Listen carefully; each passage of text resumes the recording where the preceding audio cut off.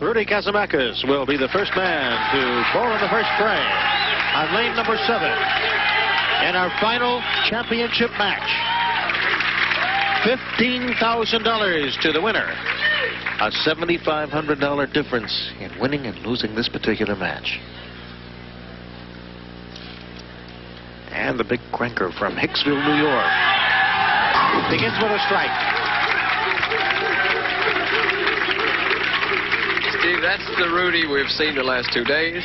And as you hear in the background, it's Rudy, Rudy, Rudy, Rudy. And now the pride of York, Pennsylvania, Tony Lewis, who won his match 234 to 186 in the semifinals.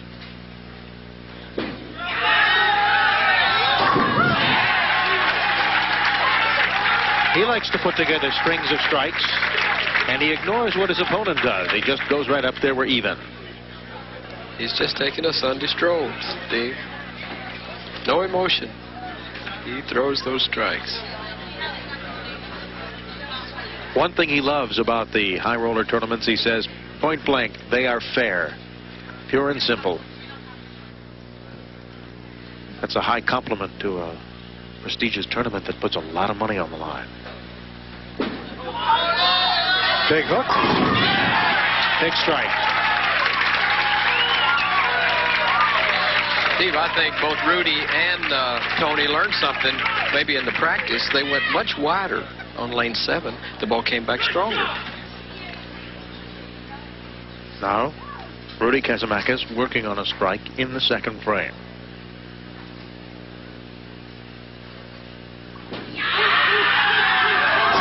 He too has a Great double. shot. Exactly as you said, they come out very wide on those boards. And Steve, finish all the, excuse me, all the boys called him Rudy Revs. Rudy Revs is his nickname. Partially because he says his mouth revs up quite a bit. He's a good talker. Pulls a lot of action. Loves one gamers.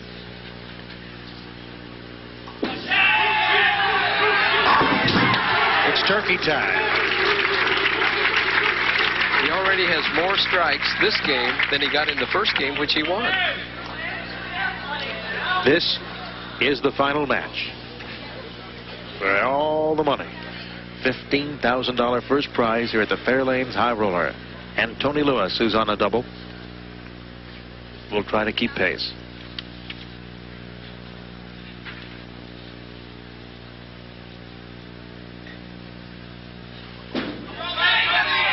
Straighter ball. Still does the job. Steve, they're both out closer to the channel where there's less oil. They get more back in. They get more carry. Six shots. Could not have been any better. It's all even. This is his third high roller tournament.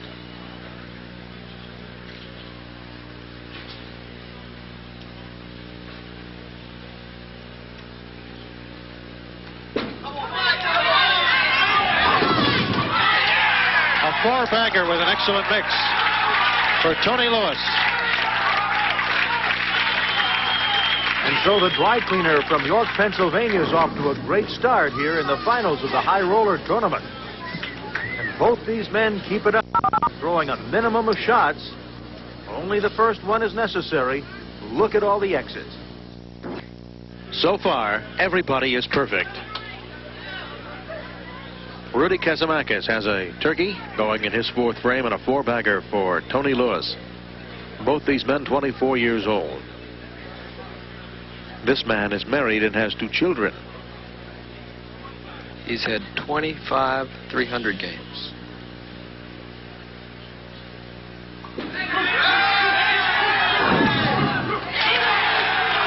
Thank you very much, he says to the eight pin as it cooperates.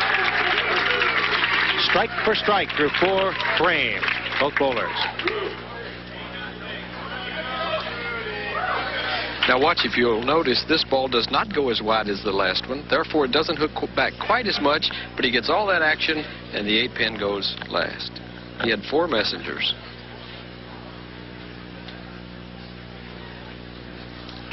He owns a pro shop. And the publicity from this will certainly help increase business, you can be sure.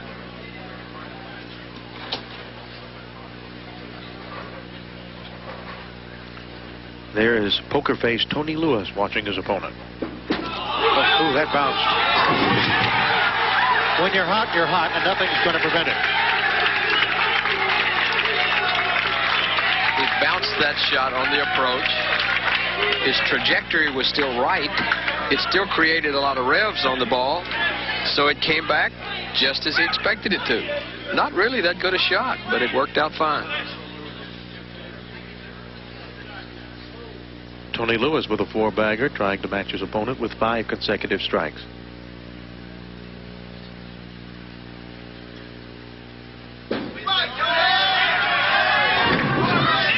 Oh, the messenger just missed the 10 pin, and that ends the streak.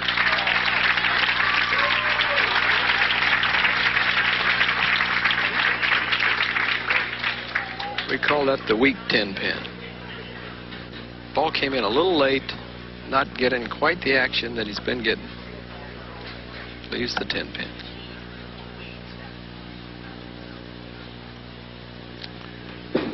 The key after that is to make the spare. See, that's the key to the bowling, and he leaves it open.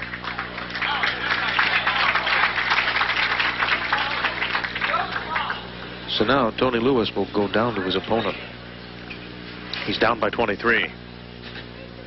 He knew he missed it when he let it go. That could mean the difference, too. After you have your string broken, you gotta forget it. You must forget it. It's tough to forget it when the other man's lined in, though, like Rudy is. Well, Tony Lewis begins another string, he hopes.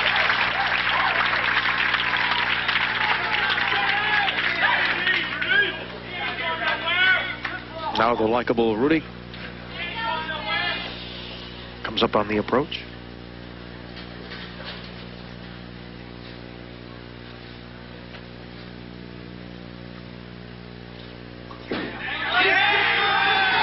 Six in a row.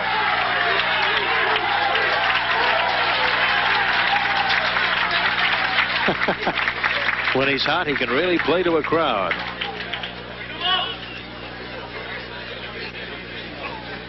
And he also plays to the pins. They listened to him tonight. The type action that you just saw in the last shot is the way the pins have been carrying for Rudy all week. In the seventh frame, he's up by 33.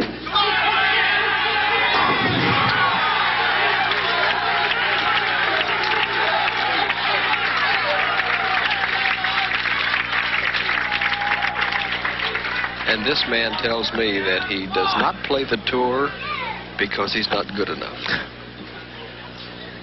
This youngster has his work cut out for him, Tony Lewis, who started with a four-bagger and has a 300 in this tournament, but he left an open in the fifth frame.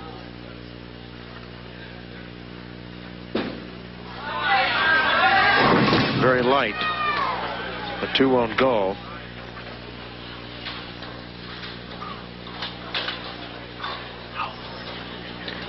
For the most part, in this final match, both men have been out near the channel and getting good follow-through, good carry. But it stopped for Tony.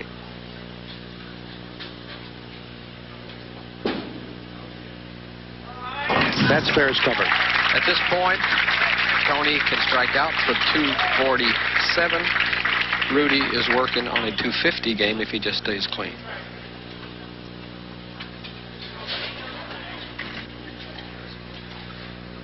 He must strike now. Do I detect a smile in Rudy there? He exudes confidence.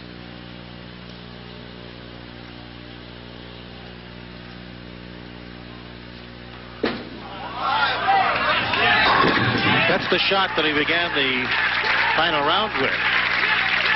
He knows he must strike, Steve. He must strike out. And of course, Rudy would have to have some trouble anything can happen as we've seen already in these matches. You're looking at Jennifer and Anthony's daddy, Rudy Kasimakis.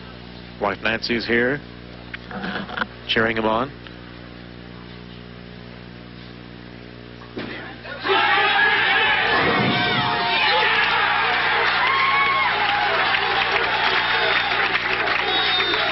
That was special delivery. Perfect through eight.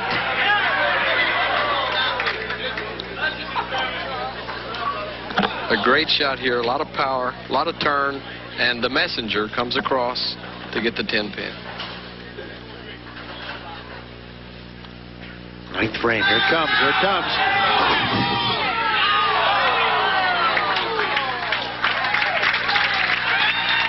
Eight in a row before the seven is left standing.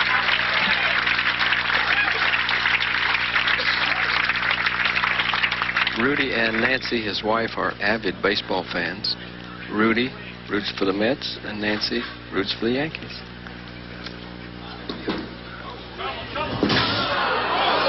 He leaves it open in his ninth frame. I think after we head to the ninth frame that she's not she'd give up all Yankee victories as long as her husband hangs on for this. That's correct.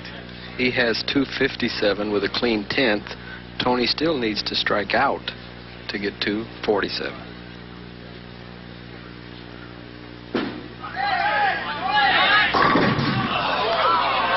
Well, now he has a chance to do something spectacular. The dreaded swishing 710. A good hit. Ball comes in a little late behind the head pin, resulting in the 710. If he converts it, it'll be a shot long remembered on this broadcast. He didn't even try. No, Normally, a bowler in a key where he has to make it would throw the ball very hard, hoping it would bounce out. He resigned himself to the open, got the seven pin, can now do no better than 215. Well, the difference between winning this particular match and coming in second is $7,500. We have a total purse of $170,595 for these bowlers, including some of the side events in the VIP, and people have a lot of ways to cash. The 10th frame here for Tony Lewis.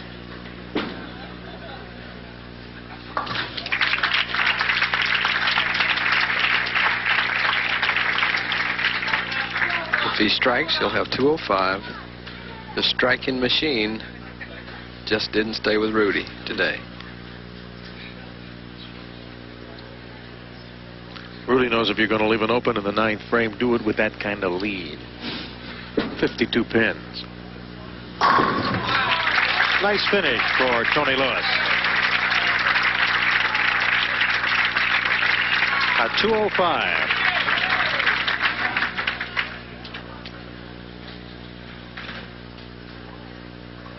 Rudy Kasimakis. He continues high. What a foundation in the 10th. He can go out for 267. He had eight consecutive strike to start this final round and finally buried Tony Lewis.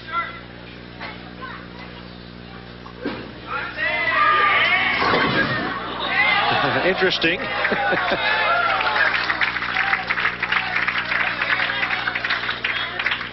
well, from a man who at one time was in a tournament, as we mentioned, and his bowling ball just absolutely break apart, and he still continued to use it.